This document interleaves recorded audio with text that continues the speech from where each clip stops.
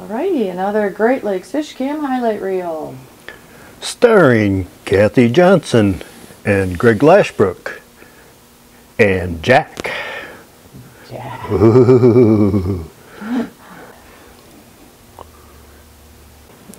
Halloween time. So where'd you get Jack? I got Jack at a garage sale for 50 cents.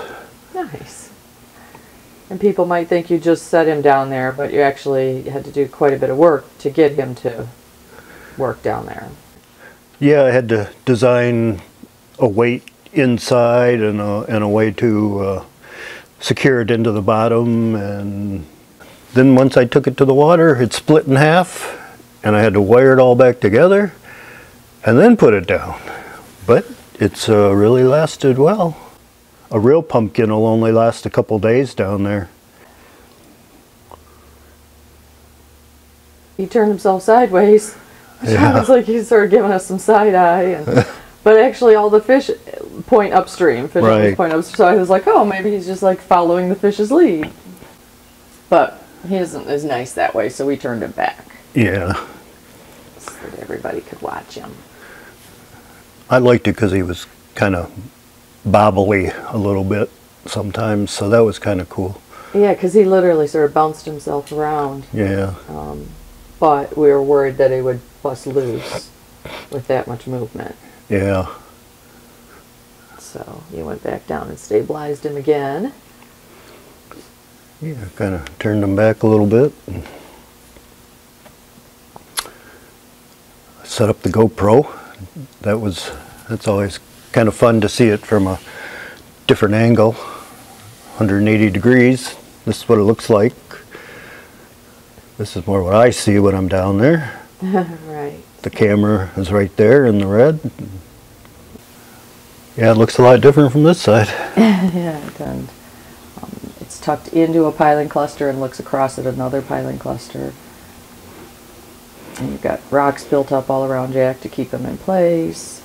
And actually to the left of it is uh, a little mirror that I put down just I, I think I think some fish actually would look at the mirror and and keep an eye on it and I, I, I think it added to the whole to the whole scene.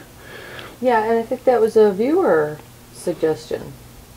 One Yeah, Viewers, uh, yeah. Ray suggested that we put a mirror down, and we were like, all right, but like this, you know, he could theoretically, the bass could be sitting there looking in the mirror right now. Yeah. So, yeah, it's kind of cool.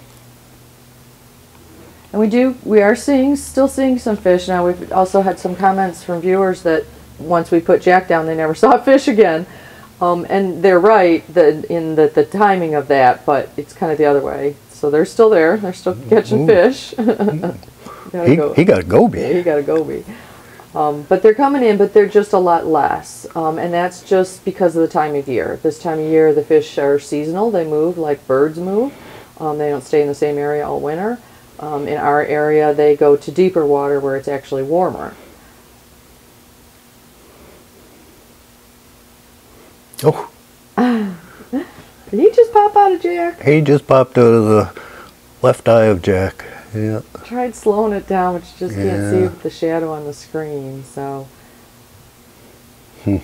that does get fixed. We did redo some resets on our um, settings here. So if anybody else has had trouble with the side of their screen viewing dark through YouTube, um, we I think we've corrected that. By the end of this video, you'll see it's been corrected, hopefully permanently. Yes, hopefully.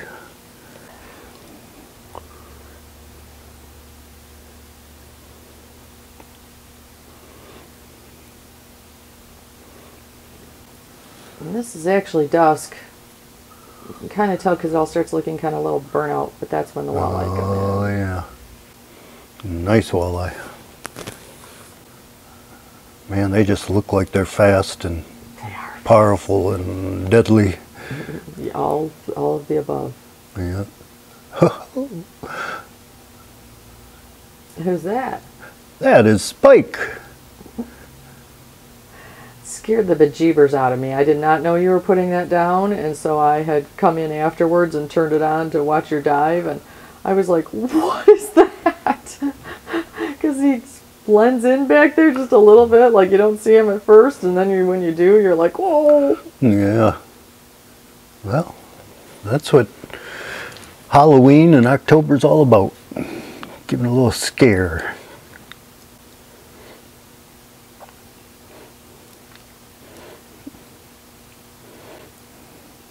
That's me signing off.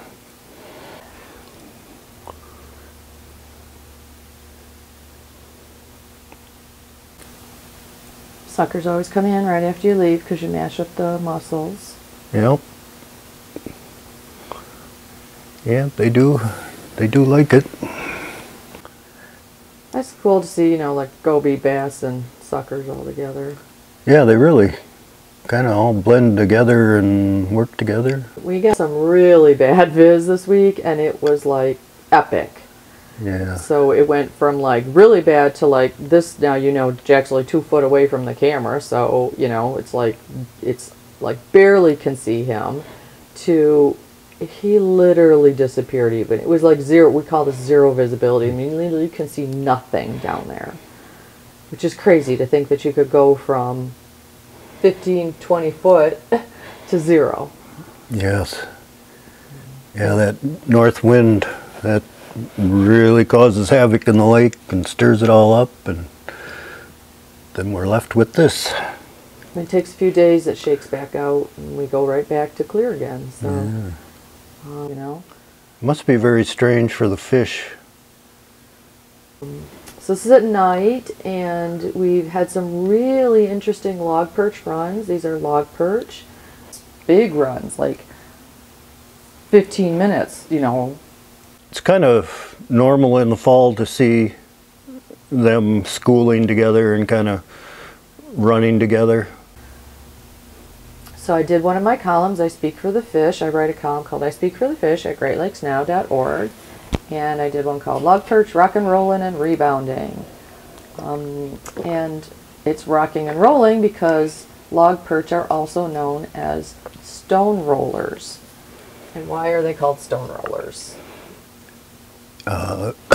because they take the tip of their nose and they go up to a rock and they flip it over and then eat all the little uh, bugs and stuff that are underneath them. But uh, it's very interesting to watch them.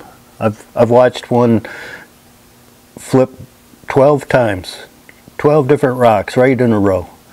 He just go to the next one, flip it, check everything, eat whatever he saw, and uh, go to the next one, flip it. Quite amazing, quite amazing to watch these do that. Even though they're called log perch and they look like little perch, they're actually a darter. Um, they these guys are about three to four inches long, and that makes them the largest darter that we have in the Great Lakes. And in the background, we have a little catfish who swam into Jack. You stashed some food in there, didn't you? Yeah, I put uh, put food in there in a in a net bag, and I thought the gobies would be all over it, but I never even saw a goby go in the mouth. I'm wondering when I take Jack away if he'll still be in there, like if that's his home now. So we've got some new subscribers. Thanks everybody. We're we're doing well. We're climbing. We're going in the right direction. We appreciate y'all um, subscribing and appreciate you liking and commenting and everything. We really appreciate it. And um, that's our highlight reel for this week. Cool, cool, cool. Thank you.